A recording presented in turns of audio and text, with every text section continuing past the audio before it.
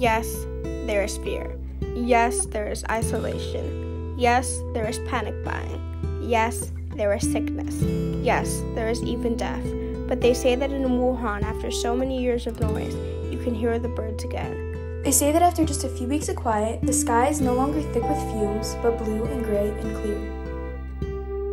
All over the world, people are slowing down and reflecting. All over the world, people are looking at their neighbors in a new way. All over the world, people are waking up to a new reality, to how big we really are, to how little control we have, to what really matters, to love, to compassion. So we pray and remember that yes, there is fear, but there does not have to be hate. Yes, there is isolation, but there does not have to be loneliness. Yes, there is panic buying, but there does not have to be meanness. Yes, there is sickness, but there does not have to be disease of the soul. Yes, there is even death, but there can always be a rebirth of love. Wake to the choices you make as to how to live now. Today, breathe.